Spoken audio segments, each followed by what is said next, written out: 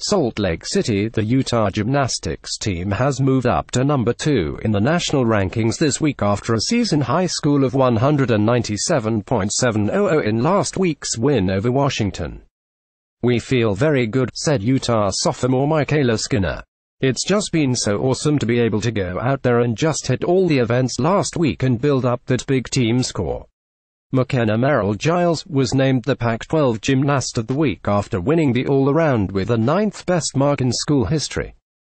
The junior from Pleasant Grove is having a tremendous season. Last year and my freshman year I think I just put too much pressure on myself, said Merrell Giles. I decided to just take all the pressure away and just start having fun. Nothing is more fun than getting a perfect 10. That's the score she received on the vault. That was my first career 10, said Merrell Giles. I mean, unreal. You always hope for that when you stick a landing, but it happened to work out that it was a 10.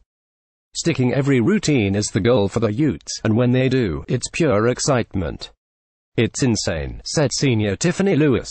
I can't even describe it. My mom actually got a picture of me this last weekend when I stuck my vault and I was like, it was just the funniest expression.